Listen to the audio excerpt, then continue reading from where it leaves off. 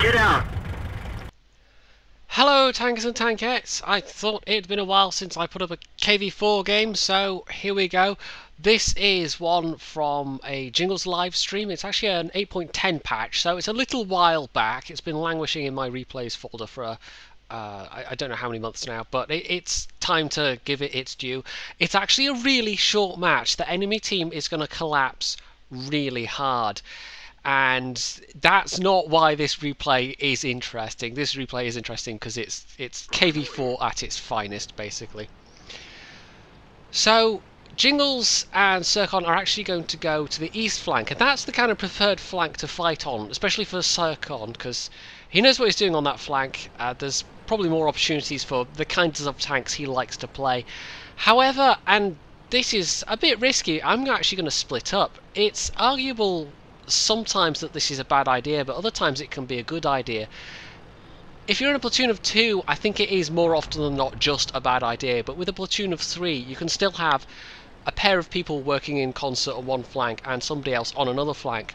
The argument against it is that you're still splitting up your uh, your you're still making yourself less effective by splitting up when you're in a platoon like this. But on the other hand, it means you've got somebody on another flank that might be a really important flank that you know you can trust. And it can go either way. So it, it's hard to call in some situations. But if you're alone, if you're platooned with only one other person, then it, it's not very, it's usually not a good idea to go off on your own. So I'm going to take a really big risk here. I've got some backup, but as you can see there, it's not really... Um, there's T25-2, T150 and a KV-1S two tier 6s and a tier 7. Also might have artillery.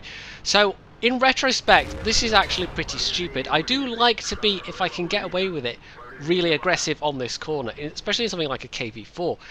Because if you've got stuff, if you've got teammates backing you up that can put fire into the stuff that uh, you're engaging, basically, then you can basically be facing off and they can be doing a lot of damage and you can dominate this flank quite easily. But I, I, I was a bit too, I don't know, I just went in gung-ho. Wasn't really paying attention apparently to the fact that I only had two tier 6 heavies and a tier 7 tank destroyer to back me up. And unsurprisingly, um, yeah, I am being rushed and at this point I maybe slightly have an inkling that I've made a major mistake because this is, what, 4-5 enemy tanks? There's very little to stop them rushing. The IS-2, I think, might be a major problem, but actually, uh, no, he's just, he attempts a shot and then just keeps on going. The Caernarvon is actually the biggest threat here. The Tiger 2 is really very cautious, all things considered, but I've already taken a couple of hits. I'm not doing very well health-wise. Uh, I'm trying to angle against this 30, but yeah, no, no, that was a big hit. So, yeah, he's kind of face-hugging me. I can barrel block him, maybe, but I actually managed to... Uh, I think he shoots my gun mantlet there. But anyway, down to 300 health, and uh, a couple of theirs are down, but still quite outnumbered. That Caernarvon's still alive.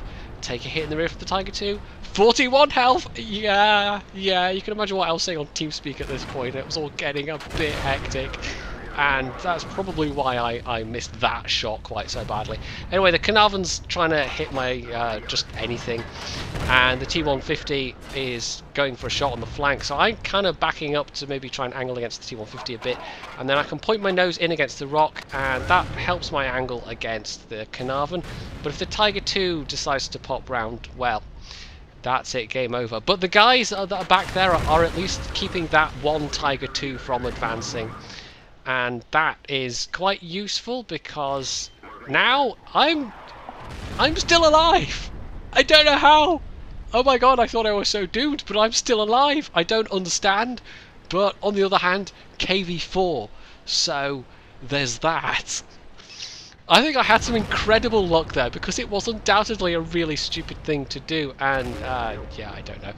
Uh, but the, the magical Russian KV4 armor saved my ass so hard because I I should have been dead. I just should have been so dead, but I wasn't. I came through with 41 hit points, and uh, a hell of a story to tell, basically.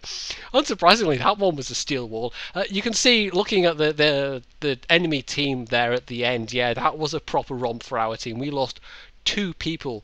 We lost a KV-1S and a Chaffee their team was pretty damn bad. Um, so it wasn't really an interesting match on that score. It was more just what happened to me in my KV4 when I did something quite stupid.